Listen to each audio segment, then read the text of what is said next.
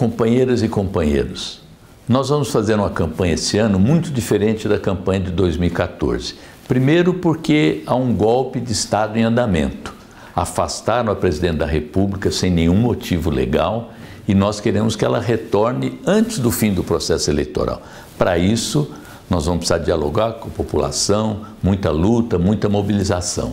A outra diferença é que não há mais o financiamento empresarial, o que é bom para nós, porque acaba com o peso do poder econômico e traz de volta campanhas voluntárias. Nós queremos campanhas militantes com muita participação, com muito diálogo, defendendo o PT, defendendo as realizações dos nossos governos e lutando em defesa da democracia. Porque o que ocorreu agora foi um golpe contra a democracia. Não foi só contra a presidenta Dilma e o PT, foi contra a democracia. Porque uma presidenta eleita é afastada para que assuma alguém que não tem um voto, um presidente usurpador. Mas nós não vamos só discutir as questões nacionais. Nós temos que apresentar propostas locais, fazer alianças com princípios, num campo que está muito bem demarcado pela resolução da Executiva Nacional.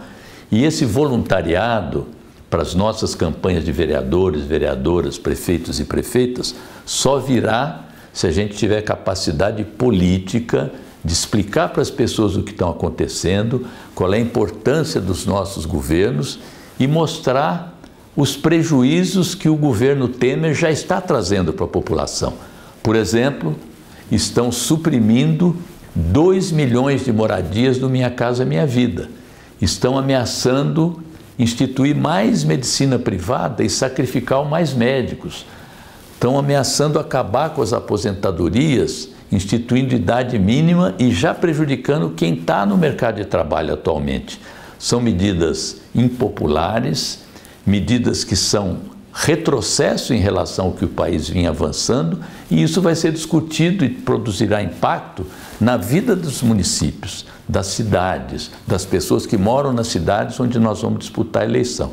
Por isso, o PT precisa ser defendido nessas eleições com propostas, ideias e principalmente trazendo muita gente para participar das campanhas, de forma voluntária, consciente e militante.